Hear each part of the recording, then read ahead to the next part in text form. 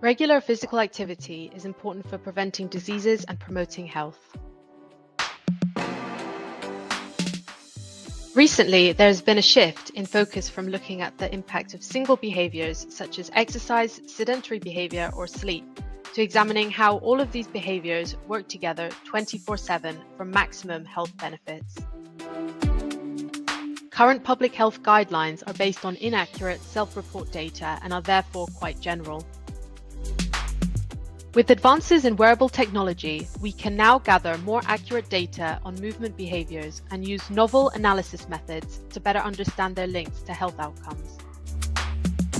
This requires a combination of skills in epidemiology, data science, method development, and public health.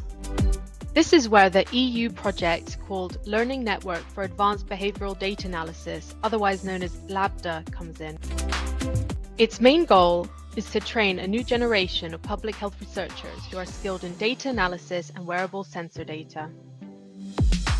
LABDA aims to establish new and reliable methods for analyzing 24 7 movement behavior data collected through wearable sensors.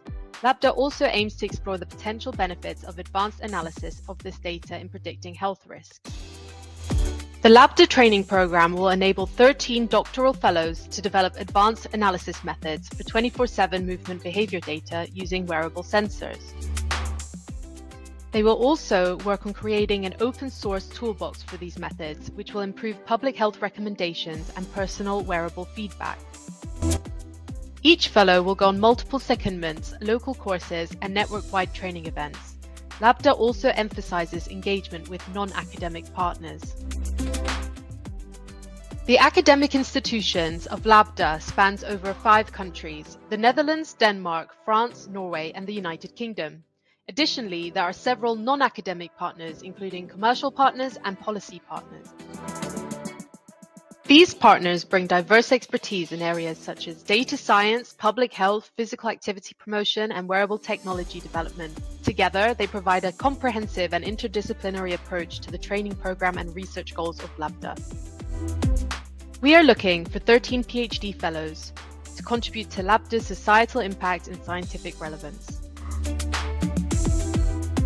This relates to the growing need for tailored evidence-based recommendations for movement behavior to prevent and treat chronic diseases, and to develop novel advanced analysis methods handling the complexity and heterogeneity of pertinent data.